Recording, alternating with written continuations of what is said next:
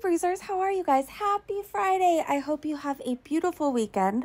I thought we can look at some of Foodie Beauty's new Instagram posts. Um, I think the comments are back off. And I find this one really interesting because people have been saying, like, she only has one picture of him. What's going on with that? So she posts this and tags him. Uh huh. Okay. And then she has this post.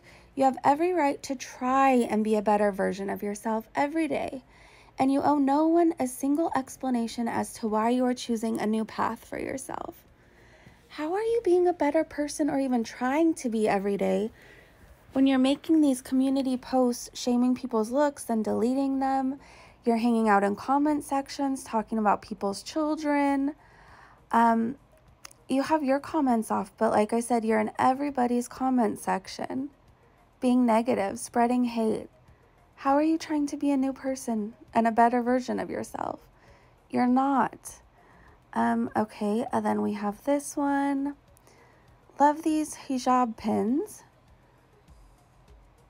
I was like, what's going on with her eye? But I guess, I don't know.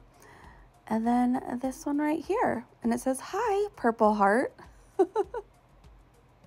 Okay, we saw that one from yesterday.